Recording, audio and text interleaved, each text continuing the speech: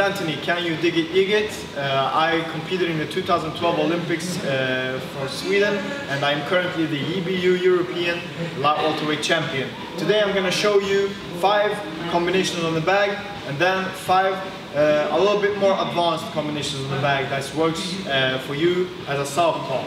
Alright, so the first combination we want to do is just uh, one, two, and then the hook and then the straight, you, you keep him open straight, uh, the straight left towards the face. So if I show you one more time, this is how it's gonna look. The first three punches is just to keep her busy. The last one is the hard one. So you accelerate all the time. One, two, three, four. That's the hard one, okay? So if I show you how it's gonna be done, this is how it's done. So you stand in and then one, two, three, four. The second combination, especially as a southpaw, is that you want to target the body a lot because your left hand is on the side of his liver. So you want to target that a lot. So even as a southpaw, when you throw a combination, try to get that in. So one good combination of this is a, still a 1-2. The 1-2 is key because it will keep him busy and will not see what's going on underneath. So if you throw a 1-2, and then, for example, if you want to switch and, and, and, throw the uppercut to the body, then what you would like to do is to throw the hook first to get that momentum to come with the uppercut, okay? So if I show you one more time. So one, two to keep busy. Find the momentum and you get the uppercut there, straight into the liver. And that's what's gonna hurt the opponent. So if I show you the whole combination, this is how it's gonna look. Same thing there, accelerating all the time. The first are easy, it's just the last punch is what you're looking for. Alright, the next combination is also quite simple. You want to start uh, in, on the head and then go down to the body because when you do something towards the head, he's going to bring your hands up and that leaves his uh, body quite open.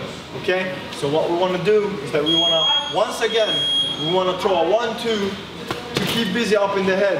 And then look at where I'm standing. His body is quite open for me now. So I throw straight to the body. One, okay? And then you can slip, slip, roll, go out. Okay, one more time. So, one, two, and you find that one to the body, okay? Let me show you one more time. This is how it's gonna look. And the same thing there. The last punch is the hard one. The first, so you accelerate all the time. One more time. Another combination you would like to throw is uh, still go down to the body, but after the body you want to finish up on the head. So if you throw a straight right, uh, if you throw the jab to the face, then you go down to the body with a long left uh, straight. But what you're looking for is that hook to the face. So once you go down, you come back up. Don't bring your head up though, and you hit him to the head. Yeah? So you go down, you go up, down, up. You will keep him confused. I'll show you one more time.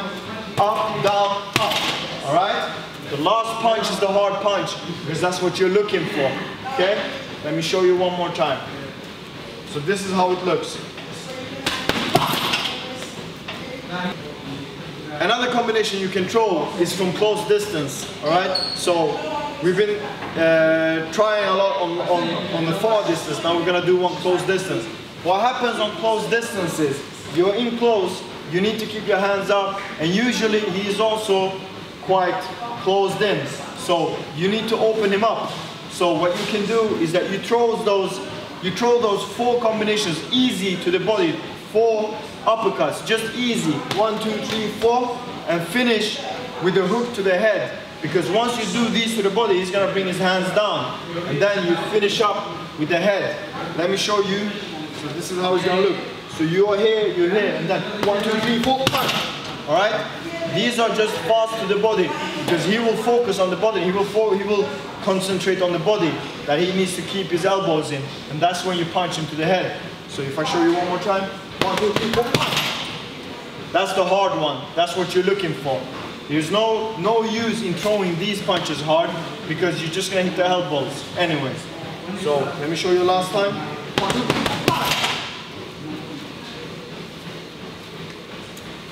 All right, that's five pretty easy combinations to remember uh, that you can think about that you can do. So we have five a bit more advanced combinations. These combinations are more advanced because you do them while you're moving, okay? And it's quite, it's, it, these combinations are good for southpaws in particular, okay? So one of the combinations are that you want to move slightly to your right while you're throwing your uh, jab, jab, straight.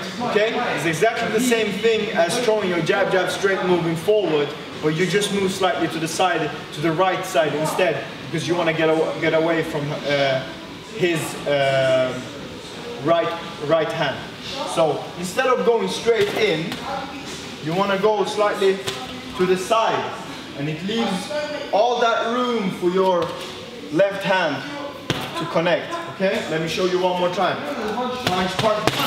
That's the hard one. The first two jabs are only to get you to position. You see, one more time. Jab, jab, gets me in position. I am in position now, and he's still facing this way, slowly rotating towards me. That's when you throw it in. Let me show you one more time fast.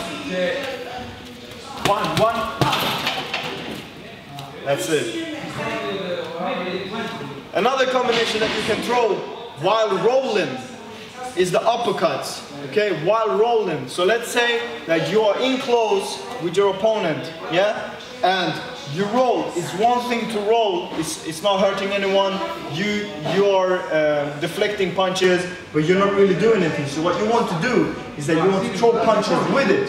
So what you do is, you roll, punch, punch. You see, I'm rolling at the same time. So the first one, you just roll because when you throw the one and two, you come back to this side and then you go back up with a hook. Okay? One more time. So you do the roll. One roll. One, two, three. Alright? It's quite of a Mike Tyson shots, hard shots. All three punches are hard in this one. Okay? Because you bring the momentum of it in. Alright? One more time, last one, let me show you. So you start, you roll, and then one, two, three. Alright? Another one you can do is also quite uh, advanced because after a couple of uh, after a combination, you go to the side and you throw another combination. It's good for southpaws because you move to the right, you go away from his punches. So this is good for you because you do a one-two, one-two, and then look at what I'm doing. I'm moving my foot to the side, one and hook. Okay? One more time. One, two, just to keep him busy. One, two, slip to the side, I'm coming over to the other side, I'm in position, I throw the left hand and the right hook. These two punches are hard, okay? So if I do it fast for you, this is how it looks. One, two,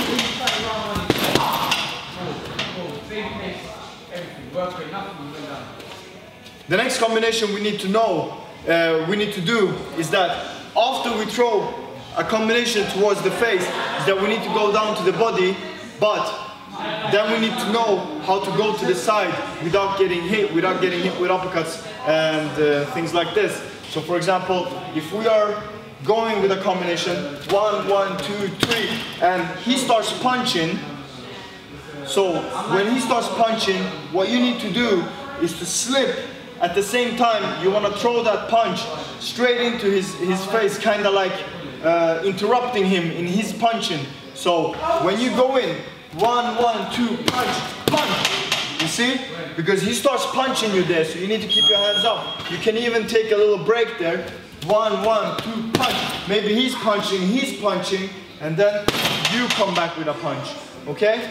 Let me show you one last time. He's ready for you. He knows that you're gonna come attack him. So you do it. One, one, punch, punch, punch, punch, punch.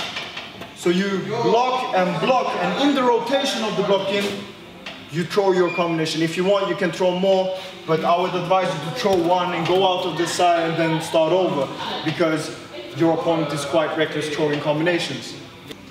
Another combination you can throw is the double right hand, uh, sorry, the double left hand and then following up from there. It's quite good for, or, uh, for southpaws because you're moving away from uh, his right hand and his left hand because you slightly dip towards your right, okay? So look, for example, if you throw a one, two, I have slightly dipped to the side, so I know he can't punch me. My hands is up as well. So you double it, okay? One more time, look at me. One, two, three, Yeah? And then if you want to, you can follow it up from here. You can throw to the body. You can throw to the head. Everything is quite open for you here. If you want to, you can double it up with a one, two again. So if I show you, the, the one I would recommend you to do is to, to throw a one, two, two, hit the body, go out to the side. Let me show you one more time. One, two, two, hit to the body, go out to the side. Let me show you one last time. So you're jabbing, maybe jabbing a couple of times. So this is in fighting, and then you're going one, two, and you go to the side. And he is quite open for you there, and you can throw your combinations, whatever you want to do. Thank you so much for watching this video on how to work the bag, how to do a couple of combinations, uh, and then some a little bit more advanced combinations. Um, thank you so much for watching, and uh, if you would like to follow me on social media, please do so on Digit Yigit uh, on Instagram or Anthony Can You Digit Yigit on my Facebook page. Also, check out my webpage, uh, digityigit.com. Thank you so much for watching.